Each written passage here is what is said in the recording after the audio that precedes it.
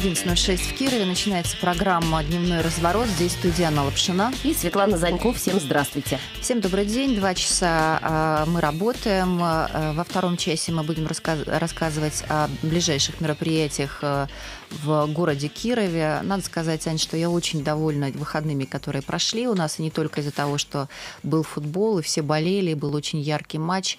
А, мы рассказывали и прежде, что прошел фестиваль «Взлетная полоса», и было еще много чего в, в городе Кирове. Я вот впервые почувствовала такие э, летние выходные, э, прошедшие очень насыщенно. День когда... любви, семьи и верности, да, фестиваль да. «Вкусной России». Да. Я помогаю тебе вспоминать. Да, да, а вот этот фестиваль железа еще был, да, угу, в эти же выходные. Да, но это было в Белой Холунице. В Белой Холунице. Ну, просто очень-очень было много мероприятий, и, правда, у меня было полное ощущение лета, праздника и выходных вот в полной мере. time. Э, и поэтому мы сегодня продолжим тоже рассказывать вам, э, горожане, э, где можно побывать и как почувствовать это лето. Ну, это во втором часе, а в первом часе мы будем говорить про вот, тоже очень интересно обсуждать тему.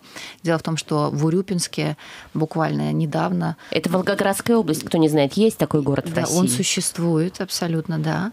28-30 июня прошел форум малых городов России, провинция. И представители Кировской области там тоже были э, и обсуждали общие проблемы для этих городов, разные абсолютно, в том числе и проблемы благоустройства малых городов, и как действуют федеральные программы, которые сейчас введены для малых городов, как они влияют сейчас на развитие города, с какими сложностями сталкиваются и власти, и жители, какие обозначают а, проблемы и задачи.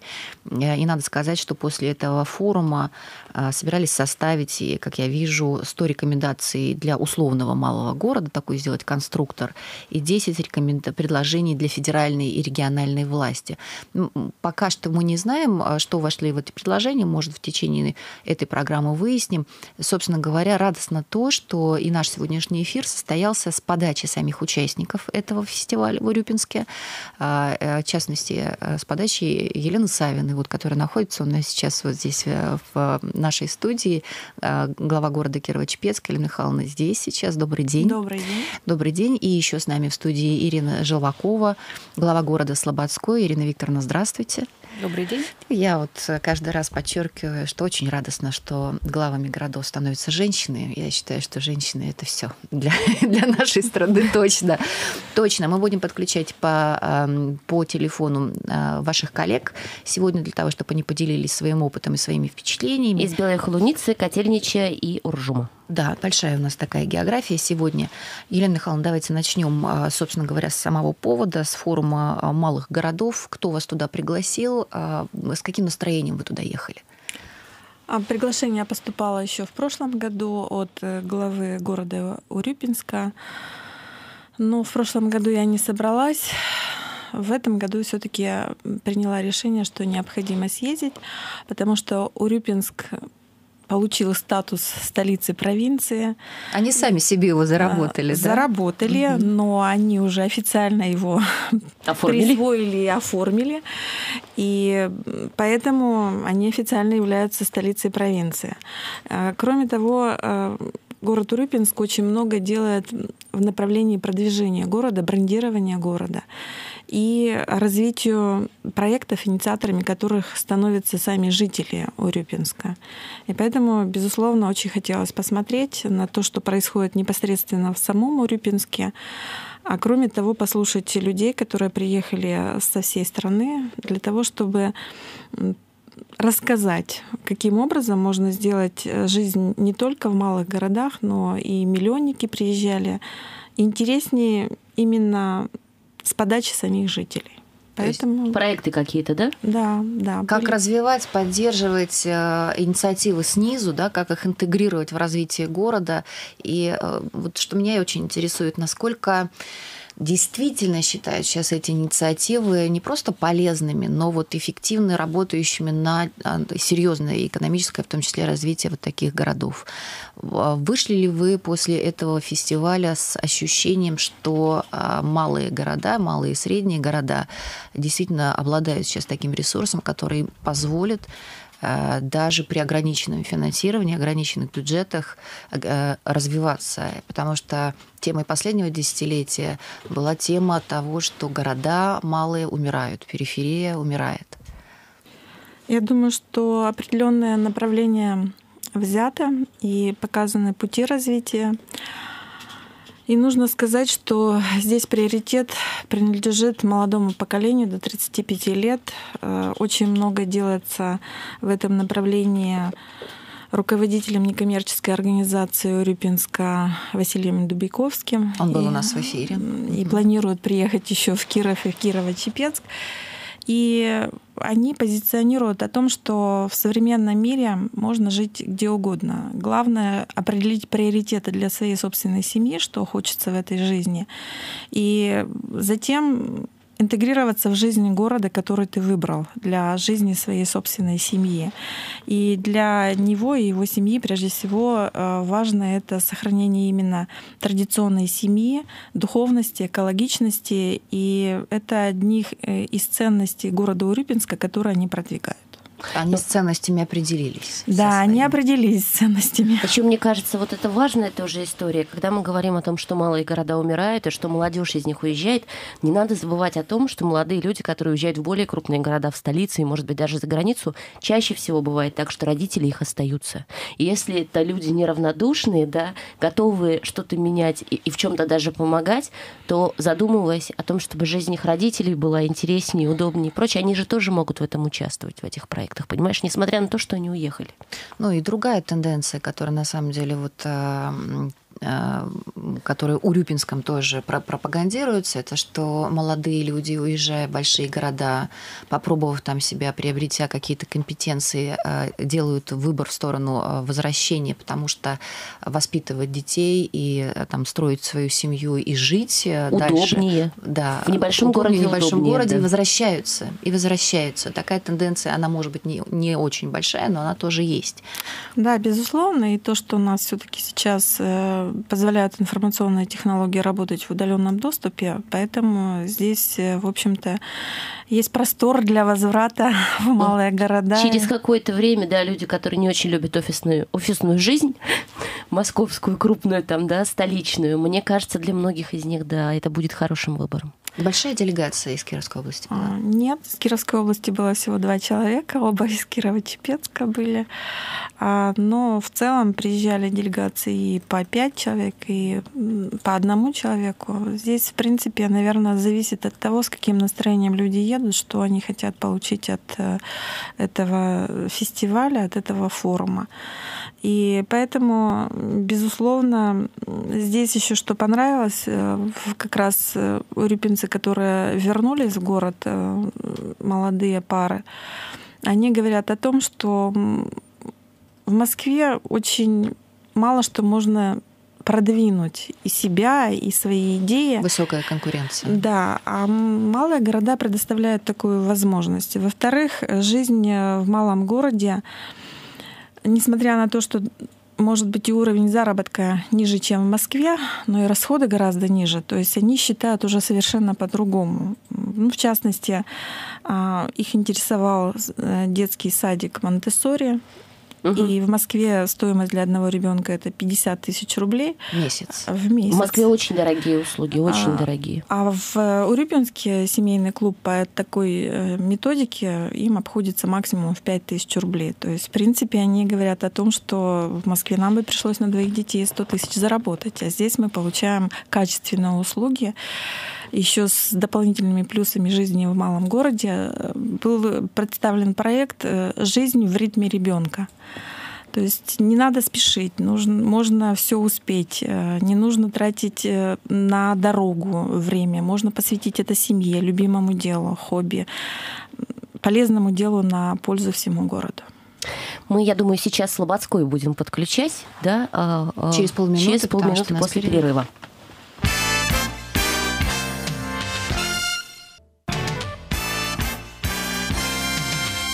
Как и чем живут сейчас малые города э, Кировской области и России, мы обсуждаем в нашей программе сегодня. Э, в студии Елена Савина, глава города Кирово-Чепецк, и Ирина Желвакова, глава города Слободской. Ну, Ирина Викторовна, вы на фестивале не были, но вы знаете, чем занимались там коллеги, и, конечно, очень внимательно отслеживаете все тенденции, которые сейчас существуют. Кроме того, Слободской всегда, конечно, славился тем, что население Слободского очень активное. У вас грандиозная совершенно история, и э, история торговая, прежде всего, да, предпринимательство было основной вашей чертой, наверное, жителей Слободского.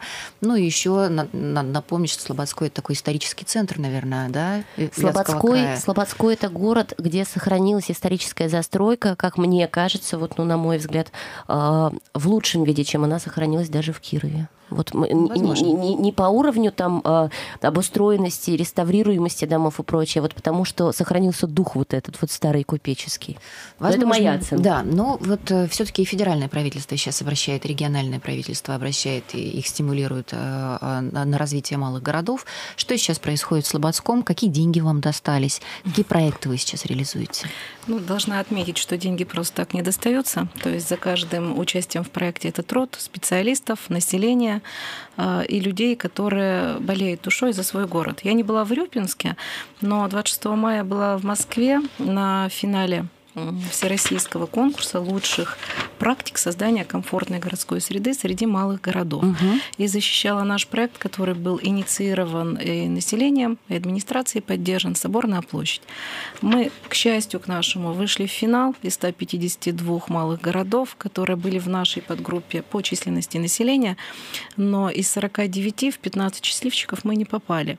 И что меня радует в этой ситуации, не потому что не попали, мы все проанализировали, наши Ошибки, наверное, только в том, что очень мало софинансирования мы показали, мы просто не могли его показать больше, мы это обязательно учтем и с региональными властями поработаем, чтобы в следующем году, когда конкурс продолжится, мы смогли достойно представить свой проект. Что радовало, что совершенно знакомые и незнакомые люди, понимая, что я уехала в Москву, что я уехала защищать проект нашего города, звонили, спрашивали, как там, какой результат, а что было, а что спрашивали, а уложились ли вы в те 7 минут, которые вам были отведены и так далее. То есть э, мне кажется, что весь город... То есть людям, людям не все равно. Не все вот равно. это очень правильный, да, хороший показатель. Это не все равно, это было приятно, несмотря на ну, такую маленькую горечь поражения, так скажем. Но будем двигаться дальше. Это а вообще... что проект вы будете включал? К чему вы У нас есть э, городская площадь соборная, где есть некоторое сосредоточение как раз памятников. И колокольня наша и Михаила Архангельская церковь 1610 года постройки, да, там, и гостиный двор 1875 года. И проект включал прежде всего реставрацию вот всех этих уникальных объектов, потому что муниципальный бюджет, к сожалению, не сможет осилить все эти работы. Ну и Соборная площадь стала соборной после 99 лет, значит, в прошлом году только наше депутатское сообщество Переименовало. опять же по инициативе, да, по инициативе населения, поэтому, потому что этому предшествовало, в общем-то, опрос общественного мнения, дискуссии, вернули историческое название. Поэтому вот благоустройство площади, прилегающей к ней территории, в основном памятников, наш проект и предусматривал. Что увидела? Увидела коллег из малых городов, которые, наверное, так же, как и мы, очень любят свои города которые тоже приехали целыми командами. И если глава муниципального образования, значит, защищает проект, то целая команда в коридоре ждет, волнуется, смотрит онлайн-трансляцию. То есть я увидела, что у малых городов есть достойные представители, которые и будут двигать, наверное, эти малые города, как и наши, с Еленой Михайловной, любимые города Чепец, там и Слободской дальше. Ирина Викторовна, а большая сумма а, требуется для того, чтобы Соборная площадь э, приобрела должный вид? Сумма нашего проекта 80 миллионов рублей. Угу. А софинансирование сколько составляло, вы говорили, показали? Ну, мы смогли показать только 2 миллиона рублей за счет наших постоянных, так скажем, а, партнеров. Слободской машиностроительный завод, Красный якорь, угу. которые всегда во всех начинаниях помогают городской власти э, и в вопросах благоустройства прежде всего. Но когда проанализировали, в число 15 счастливчиков попало, допустим, три города из Татарстана. Угу. Бавлы, Нурлат, э, третий город Азнакаево. Да?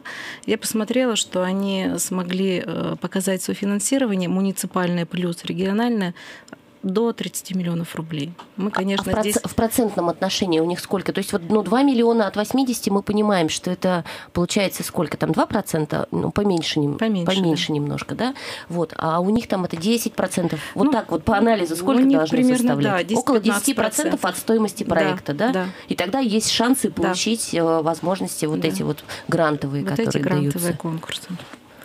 Угу. Но проект очень интересный, и я тоже, когда уже все проанализировала, у всех, ну, прекрасный. Там есть исторические зоны, их меньше, кстати, угу. чем как бы хотелось бы, может быть, э, пляжи, скверы, набережные. То есть очень интересные проекты и у наших коллег из других городов. Это программа «Комфортная городская среда» или это другая программа? Это, ну, можно так нашим языком чиновничным сказать, подпрограмма комфортной городской среды. Которая рассчитана на малые города. На малые города, да. Там четыре подгруппы, и в зависимости от численности населения там как бы свои критерии установлены. Вы этот проект конкретный будете дорабатывать и выходить в следующий год да, с да, защитой, да. да? Если Минстрой России э, продолжит всю эту работу, а на сегодня есть как бы заверение, что это все продолжится, то мы будем дорабатывать и двигаться вновь.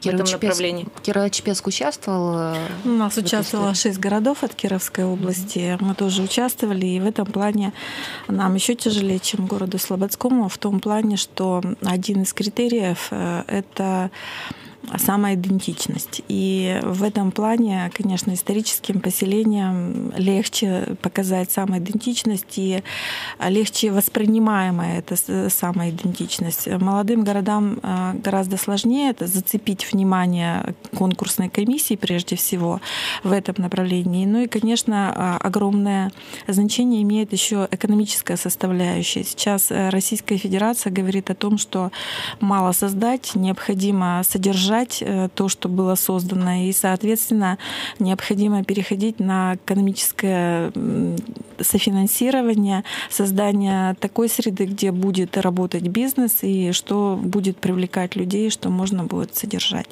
Поэтому здесь нужно будет тоже дорабатывать в этих аспектах, но необходимо сказать, что Минстрой прогнозирует на следующий год еще большую конкуренцию, потому что часть регионов э, представляла на российский конкурс конкурс. Не все проекты, которые были заявлены в регионе, у них был э, внутрирегиональный отбор.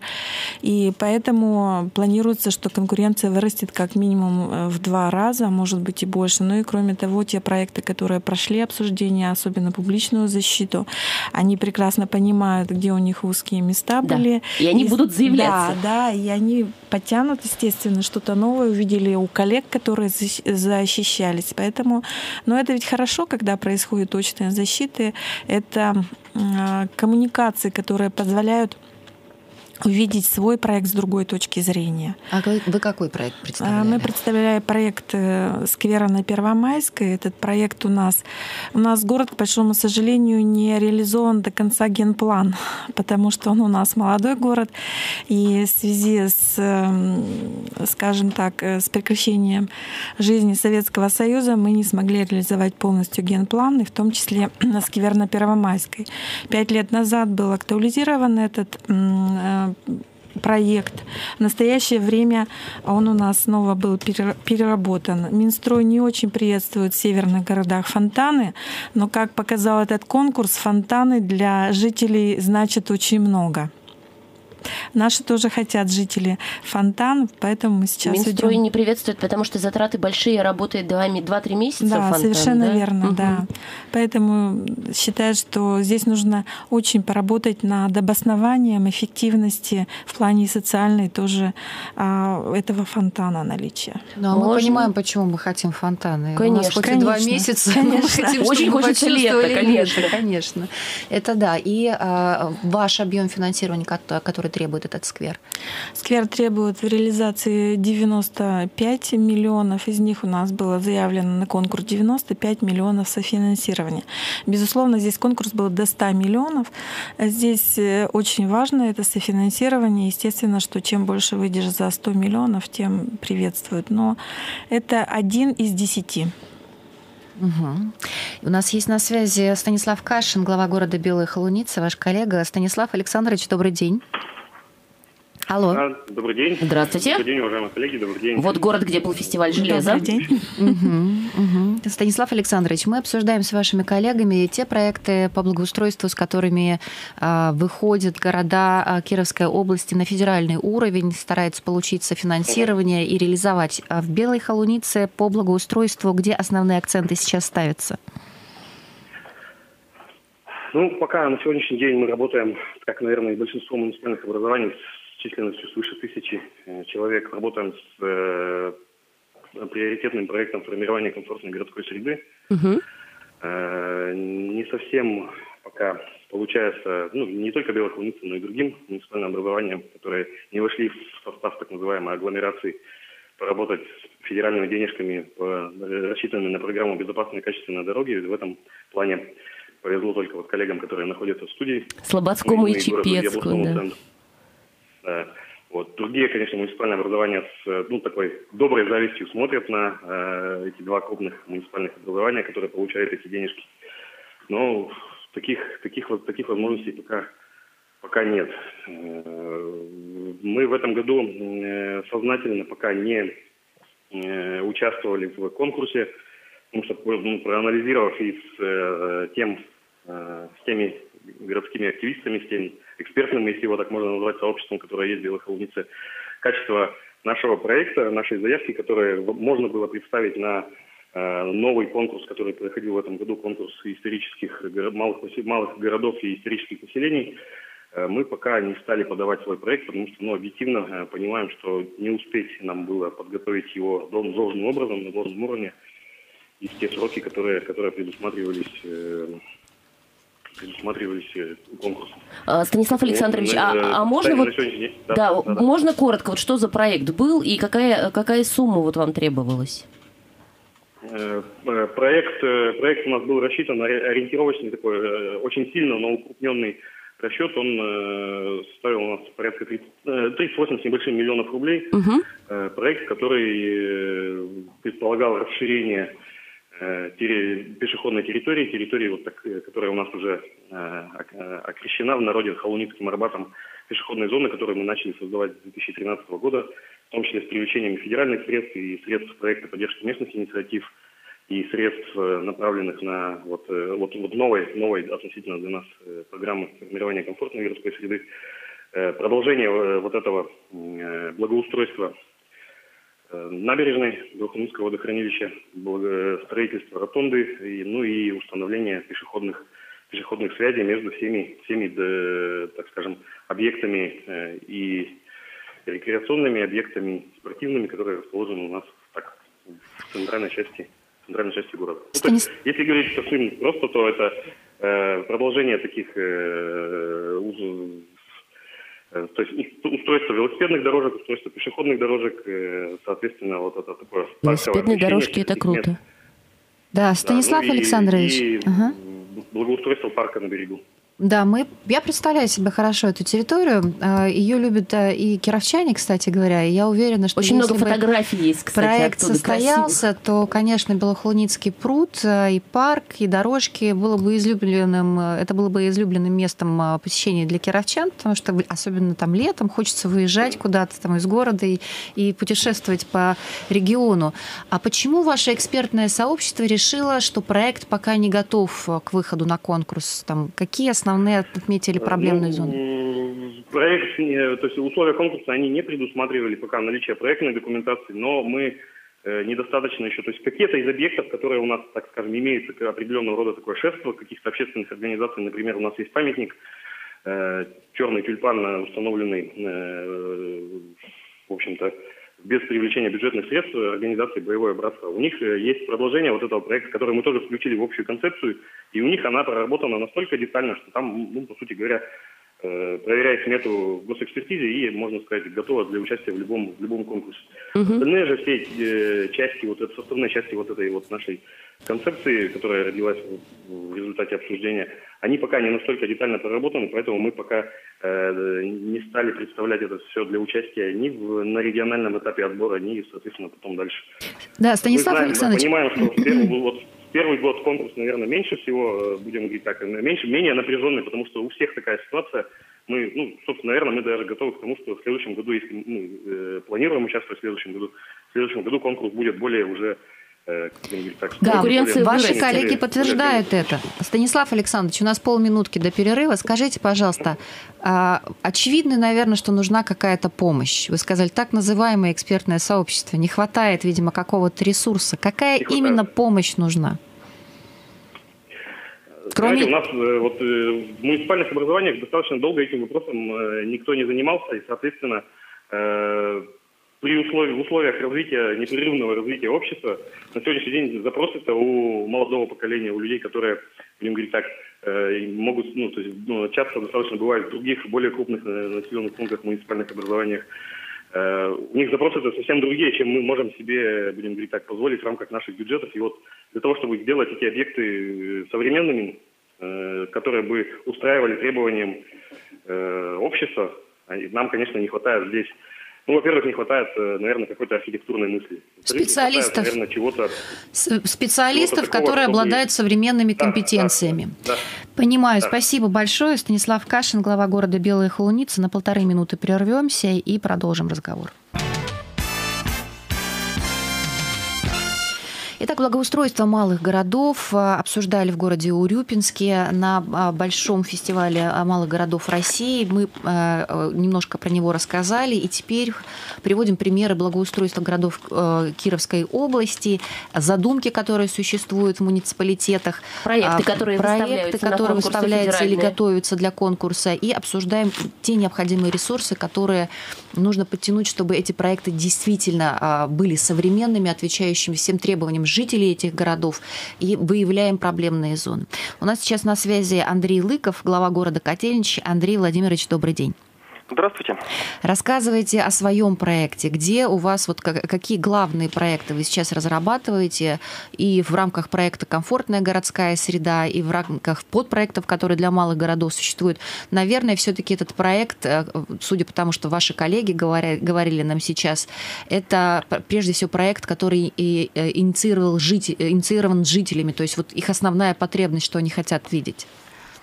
Конечно, конечно. Э, в первую очередь э, все действия они и должны быть направлены на э, благоустройство тех мест, которые хотели бы видеть именно сами жители. Э, для такого вот определения отбора мест мы в прошлом году провели интернет-опрос, на котором жители города высказались за благоустройство сквера э, в центре города у фонтана. Там работы уже проводились, часть работ выполнена, и вот следующим этапом на э, этот год мы запланировали ремонт капитальный самого фонтана. Фонтан уже представляет на сегодняшний день довольно жалкое зрелище морально устарел и физически, поэтому э, запланировали капитальный ремонт, э, изменение его структуры, сделать красивый, светодиодный, с подсветкой, э, цветодинамический фонтан. Вот смотри, жители выбрали фонтан. Хотят фонтан. Да, да, да, да. Федералы, федералы говорят, не дадим денег Будем защищать наши фонтаны, городах. конечно.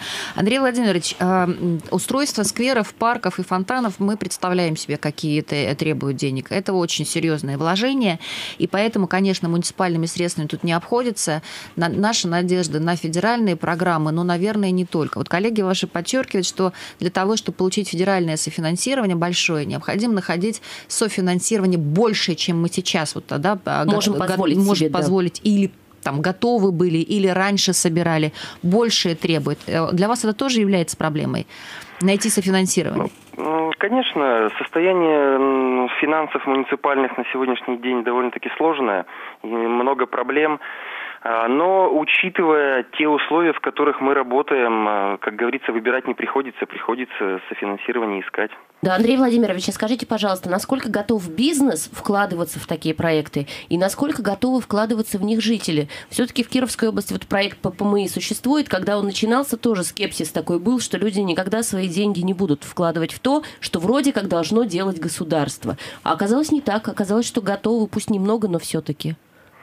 Ну, проект ППМИ это замечательный проект, и софинансирование там оно не такое большое, угу. поэтому, наверное, и находит э, отклик у населения, решаются такие актуальные проблемы для каждого.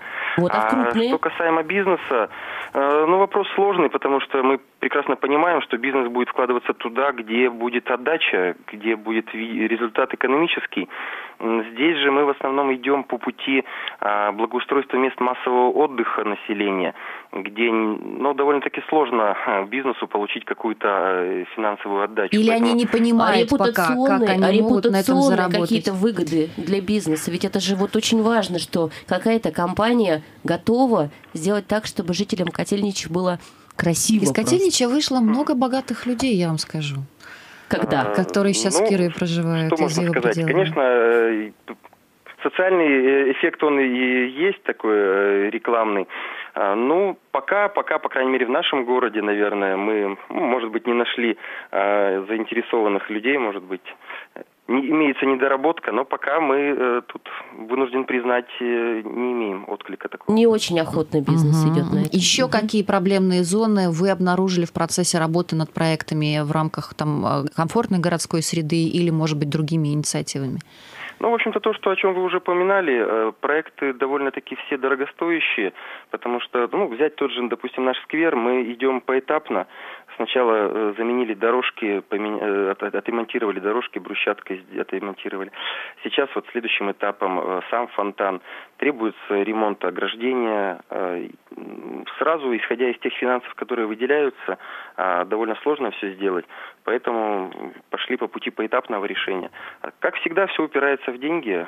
Основная, наверное, только в этом проблема, потому что э, от населения большой отклик. Все, все люди, все жители города горят желанием, чтобы город стал краше, Тут проблем-то как, как таковых нет. Еще Только один вопрос, который у нас тут возник с подачи Станислава Кашина, главы города Белая Холуница. Это отсутствие э, современной мысли, что называется, отсутствие специалистов, которые обладали бы знаниями, компетенциями в современной архитектуре, в современных инженерных там технологиях, которые необходимо использовать при, при благоустройстве разных территорий, вплоть до озеленения. Есть такая у вас проблема? Ну, в самом городе, конечно, да, со специалистами тут сложнее, но э, мы участвовали в проекте малых городов подавали заявку.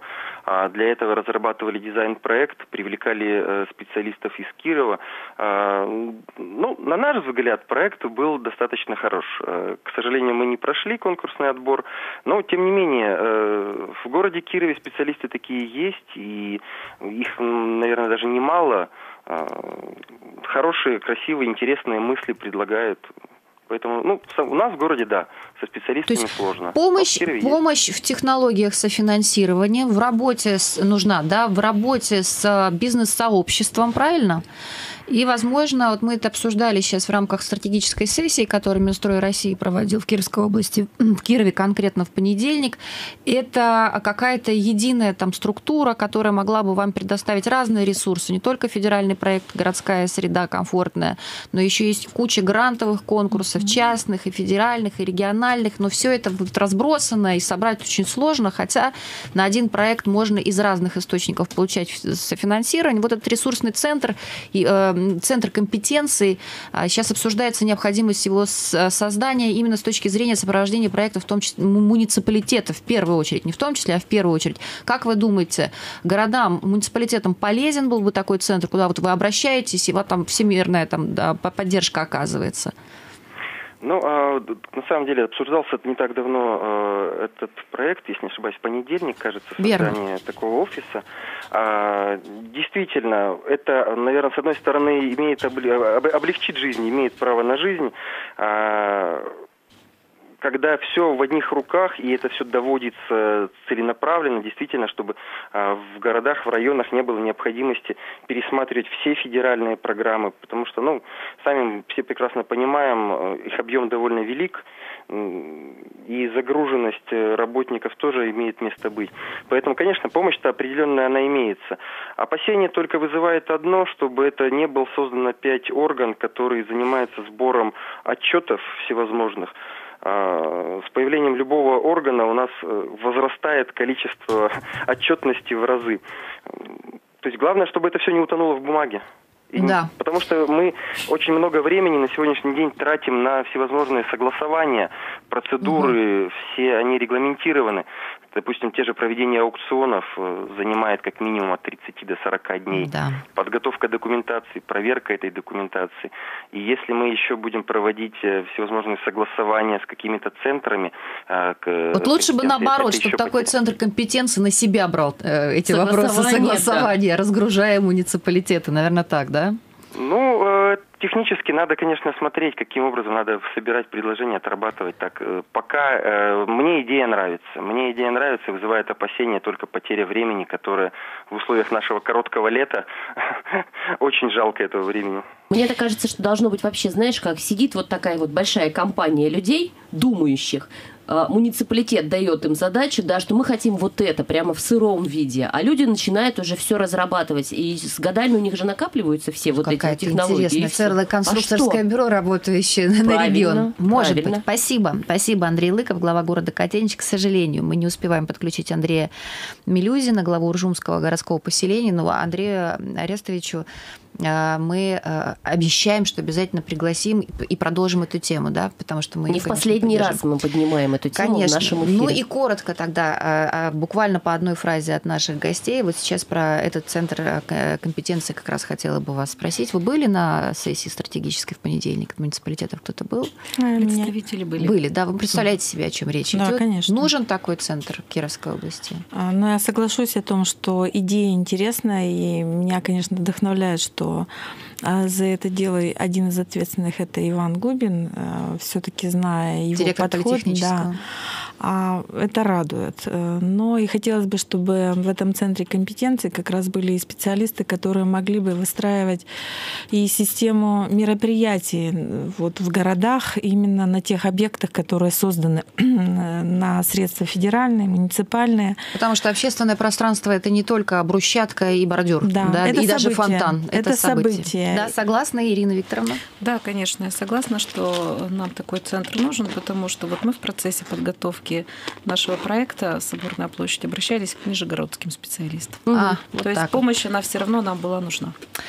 Итак, спасибо нашим гостям. Елена Савина, глава города Кирово-Чепецка, Ирина Желакова, глава города Слободской. Мы будем следить за этой темой, развивать и поддерживать. А сейчас прервемся на новости и тематические программы и реклама. Вернемся и... в начале первого. Совершенно верно.